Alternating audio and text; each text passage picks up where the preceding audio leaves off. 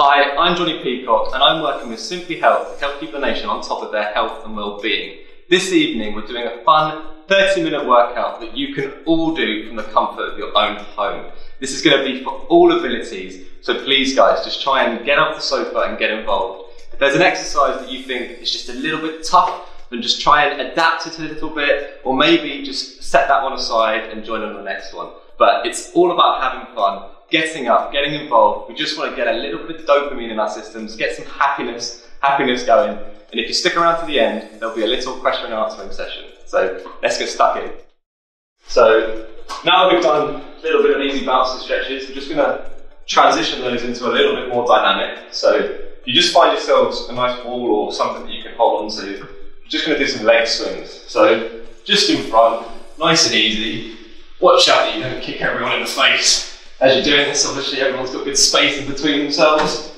And we just want a good kick in front and a good kick behind. And you can do anywhere between 6 and 12 of these, depending on how you feel. And then we're going to do the same on the front, but we're going to go sideways.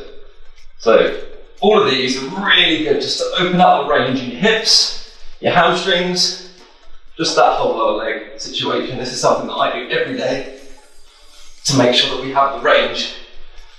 Because for me, being a sprinter, big part of it is about stride length. And if I'm tight in my hip flexors, that's not going to let me go very far. So we have to try and increase our range. So flexibility, hugely important. So now we're going to start some drills. Um, these are stuff that I do every day in training just before I run. Um, these are going to be more explosive type drills. We're going to break as well. We're going to do kind of 10 reps, I guess we'll call them either the steps or a single movement. I'll, I'll talk you through it. Just gonna keep on 10, we're gonna break, have a little bit of rest, go again. Like I said, a sprint so everything's intense and lots of rest. So the first drill we're gonna do is just an A skip. So it's effectively just skipping, but taking our knees up.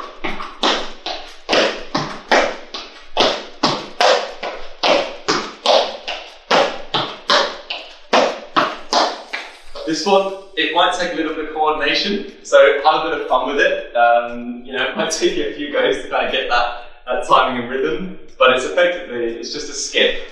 And you pick the knee up as well. Alternate leg, so alternate hand, nice and upright. Just look in front of you, and keep it nice and chill, nothing too crazy. Obviously, nice bit of a pop off from the hips, really activates everything. For me, it's a great drill for just making sure that we've got good, flexion and we're ready to strike the ground when we're going to go again.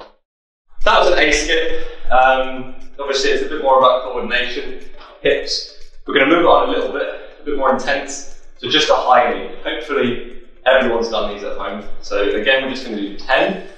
With this exercise, the best thing to think about is just being nice and tall. With all of these drills, when you're an athlete, everything's about lines. So what we don't want to be doing is just trying to be crunched over, leaning to the side, everything nice and upright. So with me, everyone, we're just going to do 10 of these, 10, so 5 each side, and if you want, you can have your hands in front of you, if that helps, um, or you can obviously just do it like we're running. So like this, I'm just going to go high knees.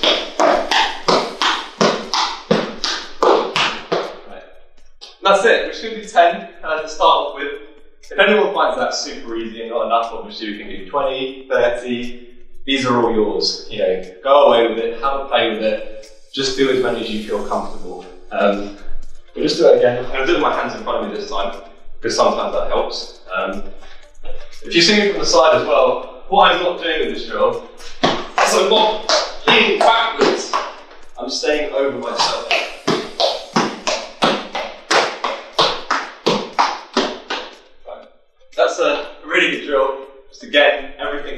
Everything's front, front side mechanics. Getting those hips nice and ready, getting the glutes ready to strike that floor. Okay, so those are our drills. Uh, obviously, like I say, I do those every day um, before my sprinting exercises. It just really fires up those glutes and hips.